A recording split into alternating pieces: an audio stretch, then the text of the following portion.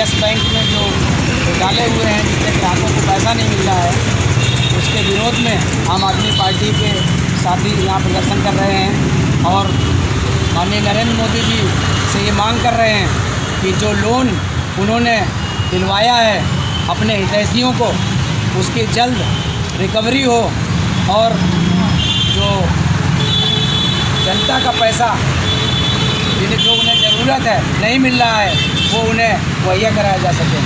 इसकी मांग कर रही है आम आदमी पार्टी। अगर आपकी मांगे नहीं मानेंगे तो क्या करेंगे?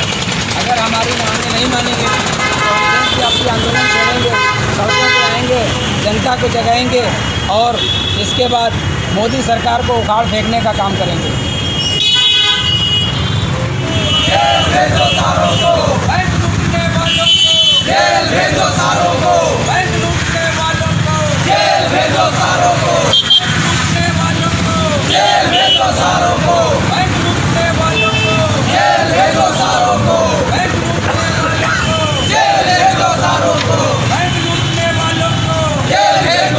Vamos!